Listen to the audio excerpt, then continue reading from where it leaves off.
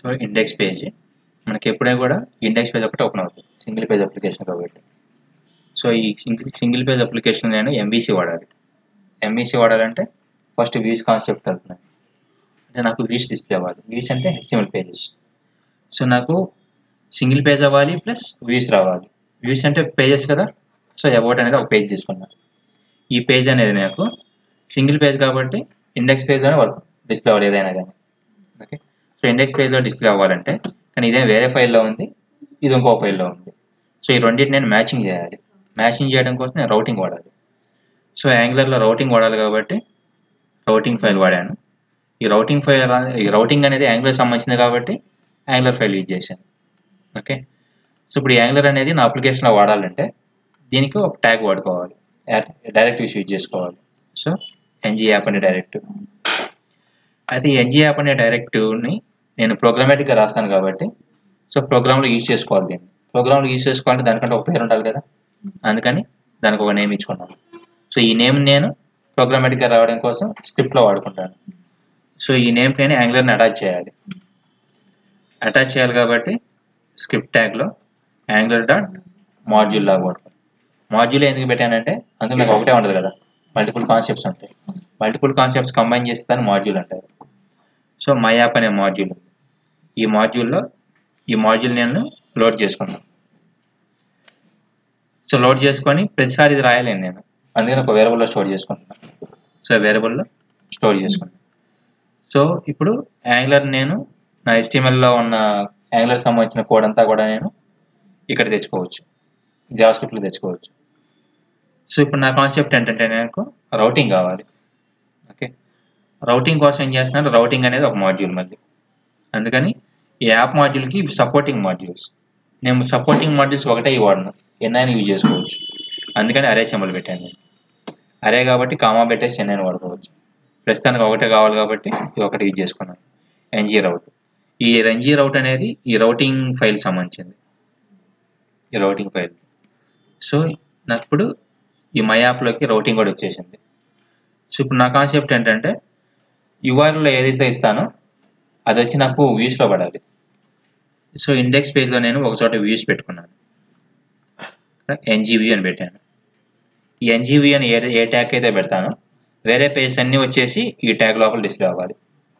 Okay so వేరే pages ఇక్కడ display అవ్వాలంటే వేరే పేజెస్కి ఈ ప్లేస్ తెలియాలి కదా. అందుకని వేరే ప్లేసెస్కి ఈ ఎన్జీబీ అనే ట్యాగ్ని మ్యాపింగ్ చేయడం కోసం ఈ రౌటింగ్ వాడుతున్నాను. సో రౌటింగ్లో మనకి ప్రీ అండ్ ఆబ్జెక్ట్ ఒకటి ఉంటుంది. రౌట్ ప్రొవైడర్ అనేది. ఓకే సో దీన్ని ఎక్కడ వాడాలంటే యాంగులర్ అప్లికేషన్కి కాన్ఫిగరేషన్ సెట్టింగ్ చేసుకోవాలి. ఆ కాన్ఫిగరేషన్లో వాడాలి. సో కాన్ఫిగరేషన్ సెట్ చేయాలి కాబట్టి నేను కాన్ఫిగ్ అనే ఫంక్షన్ వాడుకుంటున్నాను సో యాంగులర్లో ఉండే ఈ కాన్ఫిగ్ అనే ఫంక్షన్ కాల్ చేసుకున్నాను సో ఈ ఫంక్షన్ స్టార్టింగ్ ఇక్కడ ఎండింగ్ ఇక్కడ సెమీ సెమీకోలన్ ఫంక్షన్ కాల్ అయింది జనరల్గా ఫంక్షన్స్కి మనం పారామీటర్ పాస్ చేసుకుంటాం. ఓకే సో నాకు ఒక వాల్యూ అయితే పారామీటర్లో డైరెక్ట్ వాల్యూ పాస్ చేసుకోవచ్చు. నాకు వాల్యూ కాదు. Some multiple lines of code రాయాలి. అందుకని వాల్యూ వల్ల ఏం చేస్తున్నా ఫంక్షన్ పాస్ చేసుకుంటున్నాను సో ఇది ఫంక్షన్ ఈ ఫంక్షన్ నేను బయట ఎక్కడ కాల్ చేయాల్సిన అవసరం లేదు. అందుకని ఫంక్షన్ పేరు పెట్టుకోలేదు. ఓకే సో ఈ ఫంక్షన్ స్టార్ట్ అయింది ఇక్కడ. బ్రేసెస్ ఇవి. ఇక్కడ స్టార్ట్ అయింది. ఇక్కడ క్లోజ్ అయింది. ఈ మధ్యలో నేను కోడ్ రాసుకున్నాను ఓకే సపోజ్ ఇప్పుడు నేను కోడ్ రాయాలి. కోడ్ రాయాలి నా ఓన్గా రాసేది కాదు కదా ఇదంతా. ప్రీడిఫైన్డ్ వాడుకోవాలి. సో ప్రీడిఫైన్ వాడుకోవాలంటే ఇప్పుడు నాకు రౌటింగ్ కాన్సెప్ట్ తెలియదు. అది నాకు ప్రొవైడ్ చేయడానికి రౌటింగ్ ఒక ఆబ్జెక్ట్ ఇస్తుంది. ఆబ్జెక్ట్ ఏంటంటే రౌట్ ప్రొవైడర్ అనే ఆబ్జెక్ట్ ఈ ఆబ్జెక్ట్లో మనకి ప్రీడిఫైన్ ఫంక్షన్స్ వేరియబుల్స్ ఉంటాయి. ఓకే నాకున్న ఫంక్షన్ ఏంటంటే వెన్ అనే ఫంక్షన్ ఈ వెన్ అనే ఫంక్షన్ ఏం చేస్తుందంటే టూ పారామీటర్స్ తీసుకుంటుంది. ఫస్ట్ పారామీటర్లో యూఆర్లో ఏం రావాలి? సెకండ్ పారామీటర్లో దానికి ఏం జరగాలి? ఓకే సో ఇక్కడ జరిగిన యాక్టివిటీ మొత్తం ఎక్కడ డిస్ప్లే అవ్వాలనేది రౌటింగ్ తీసుకుంటుంది. ఎక్కడ డిస్ప్లే అవ్వాలి? ఎన్జీబీలో డిస్ప్లే అవ్వాలి. సో ఎన్జీబీలో డిస్ప్లే అవ్వాలని ఇదే డిసైడ్ చేస్తుంది. ఓకే. సో సెకండ్ దాంట్లో స్లాష్ అబౌట్ అంటే వెబ్సైట్ స్టార్టింగ్ తర్వాత అబౌట్ అని వస్తే నాకు ఈ ఫైల్ ఓపెన్ అవ్వాలి.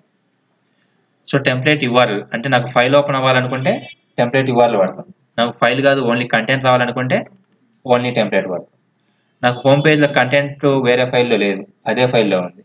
అందుకని జస్ట్ పేరు ఒకటే మారాలి కాబట్టి ఆ నేమ్ ఒకటి పెట్టుకుంటున్నాను. కానీ ఇది అక్కడ లేదు. వేరే ఫైల్లో ఉంది. అందుకని యూఆర్ఎల్ పెట్టేసాను సో ఇవన్నీ మ్యాచ్ అయితే వెన్ అనేది మ్యాచ్ అయితే ఒకవేళ మ్యాచ్ అవ్వలేదు అనుకోండి ఏ యూఆర్ఎల్ మ్యాచ్ అవ్వలేదు అనుకోండి నేను ఏం రాయకుండా డైరెక్ట్గా దాన్ని హోమ్ పేజీకి పంపిస్తున్నా. అంటే రీడైరెక్ట్ చేస్తాను రీడైరెక్ట్ చేయాలంటే మనకి ప్రీడిఫైన్ ఆబ్జెక్ట్ ఒకటి ఉంటుంది. సో రీడైరెక్ట్ టూ అని. ఈ రీడైరెక్ట్ టూలో మనం ఏదైతే పాత్ ఇక్కడ అక్కడికి వెళ్ళింది స్లాష్ ఇస్తే హోమ్ పేజ్కి వెళ్ళిద్ది. స్లాష్ అబౌట్ ఇస్తే అబౌట్ పేజ్కి వెళ్ళిద్ది.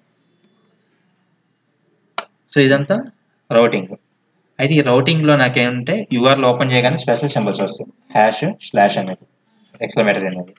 నాకు ఆ స్పెషల్ సింబల్స్ రాకూడదు. అలా రాకుండా ఉండాలంటే రౌటింగ్లో ఒక ఇంకొక ఆబ్జెక్ట్ ఉంది. అదే లొకేషన్ ప్రొవైడర్ ఈ లొకేషన్ ప్రొవైడర్లో హెచ్టిఎంఎల్ ఫైవ్ మోడ్ అనే ఫంక్షన్ ఉంటుంది. ఈ ఫంక్షన్ని ట్రూ చేసామనుకో ట్రూ పాస్ చేసామనుకోండి అది యాక్టివేట్ అవుద్ది. ఫాల్స్ పాస్ చేస్తే యాక్టివేట్ అవ్వదు. ఓకే సో ఇప్పుడు నాకు స్పెషల్ సింబల్స్ పోయాయి.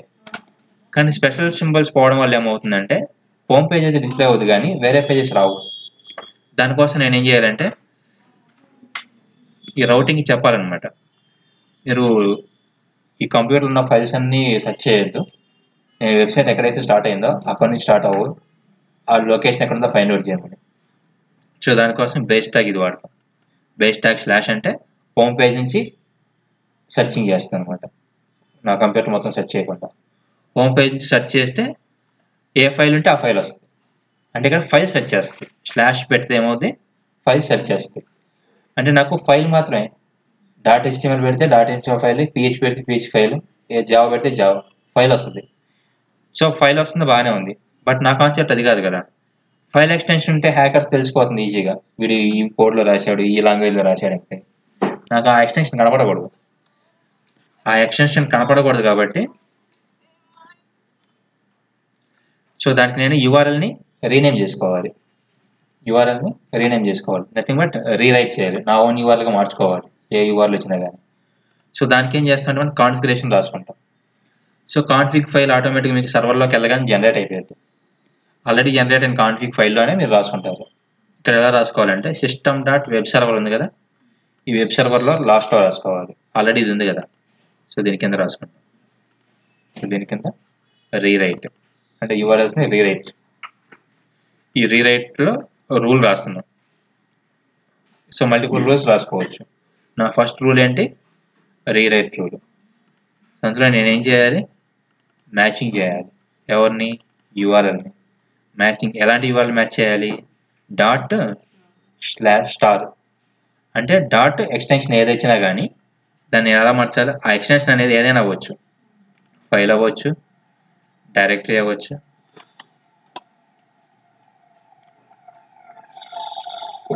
సో ఈజ్ ఫైల్ అది ఫైల్ అయినా అవ్వచ్చు ఈజ్ డైరెక్టరీ డైరెక్టరీ అయినా అవ్వచ్చు యూఆర్ఎల్ అది యూఆర్ఎల్ అయినా అవ్వచ్చు. ఏది వచ్చినా కానీ దాన్ని ఎలా మార్చాలి నేను? యాక్షన్ టైప్ ఏంటి? రీరైట్ ఎలా రాయాలి? స్లాష్ అంటే హోమ్ పేజ్లో ఉన్న ఇండెక్స్ డాట్ హెచ్టిఎంఎల్ ఫైల్కి వెళ్ళమని. సో మన యూఆర్ఎల్ ఏది ఇచ్చినా కానీ హెచ్టిఎంఎల్ ఫైల్కి వెళ్ళింది మన హెచ్టిఎంఎల్ ఫైల్లోనే కదా రాసింది ఇది? యూఆర్ఎల్ ఏమొస్తే ఏ పేజ్ ఓపెన్ అవ్వాలనేది? యూఆర్ఎల్ ఏది వస్తే ఏ పేజ్ ఓపెన్ అవ్వాలి ఇక్కడ డిసైడ్ చేసుకుంటాం సో ఇదేం చేస్తుందంటే ఈ పేజీని తీసుకెళ్ళి మీరు ఎన్జీవీ ఎక్కడైతే పెడతారో అక్కడ డిస్ప్లే అవుతుంది ఎన్జీవీ పెట్టకపోతే డిస్ప్లే అవ్వదు.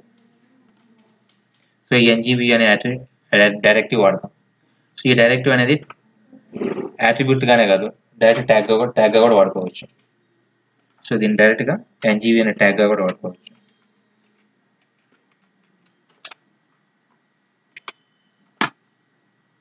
ఇక్కడ తీసేసుకున్నాను. You can use either tag or attribute.